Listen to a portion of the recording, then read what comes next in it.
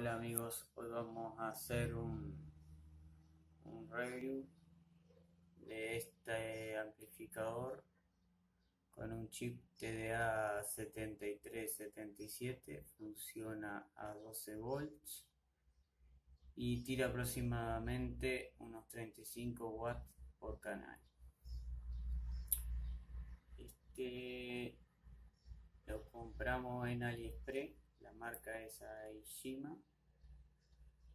Este tiene un buen grado de puntuación, vale aproximadamente 9 dólares.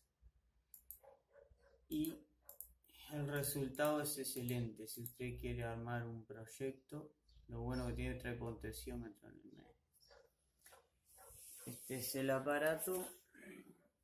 Si usted quiere armar un proyecto, con una caja acústica, yo diría que esto es lo ideal.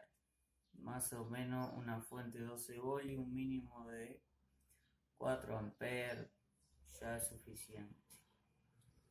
Este, acá está funcionando a mucho más de 4 amperes, ¿no? Está conectado a una fuente de computadora.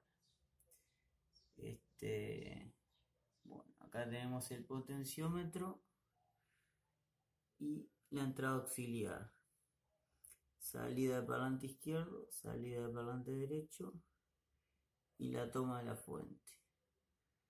Bueno, este es el disipador. El tamaño no es muy grande. Y acá tenemos unas cajas Philips que suenan bastante bien. Este, son de tres vías y más o menos se equilibra con la potencia que nos ofrece esta placa.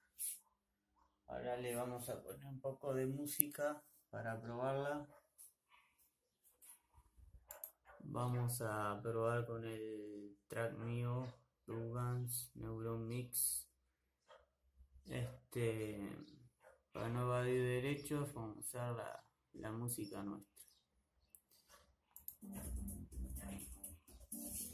El micrófono de este celular no es bueno. Este, en cuanto a la, a la potencia, este es algo como diría como para un uso estándar, digamos, ¿no? Una potencia alrededor de 60-70 watts para, para el hogar es, buena potencia. Este, vamos a subir un poco el volumen. El único detalle que yo vi que si el auxiliar es bueno usarlo con la PC, ¿no?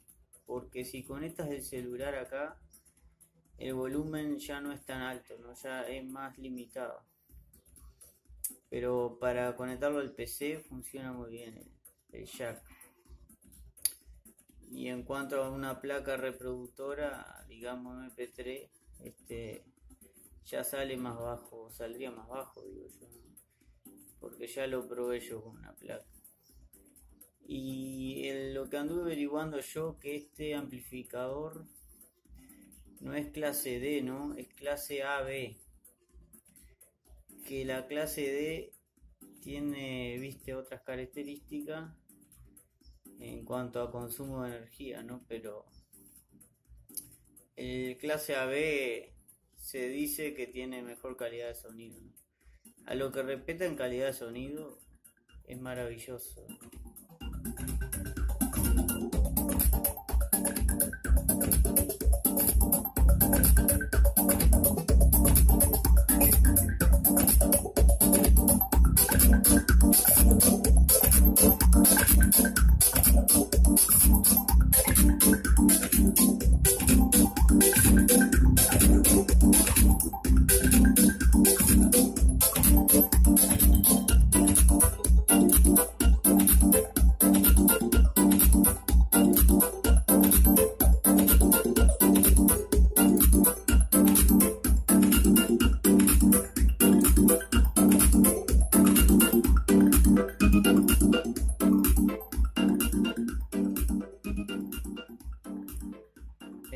La rebanca, la potencia se la rebanca.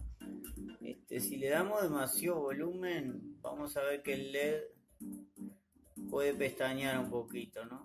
Eso no se recomienda. Cuando vemos que distorsiona o estamos muy pasados, no, no usarlo al máximo porque podemos quemar algo. Lo bueno es darle el volumen adecuado para, para protegerlo, ¿no? Otra cosa que sería interesante es agregar una turbina esa de computadora 12 volt para disipar mejor el, el disipador porque ahora lo tenemos afuera pero si lo usamos en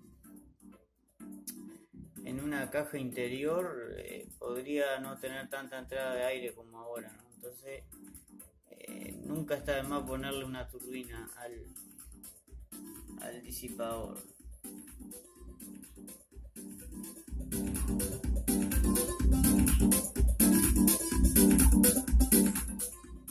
yo le voy a pasar el enlace de donde lo conseguí, eh, la tienda que me lo vendió.